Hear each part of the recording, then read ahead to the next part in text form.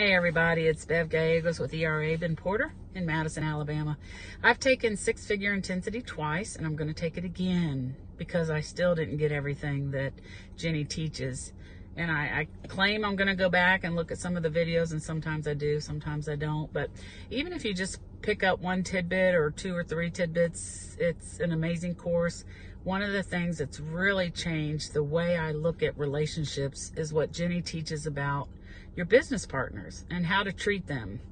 And it's been amazing when I do do the things that Genny recommends on treating your business partners um, and nurturing that relationship. The universe has really rewarded me with business and um, something I probably would have never thought about and never implemented. So hope to see you on the next six figure intensity course.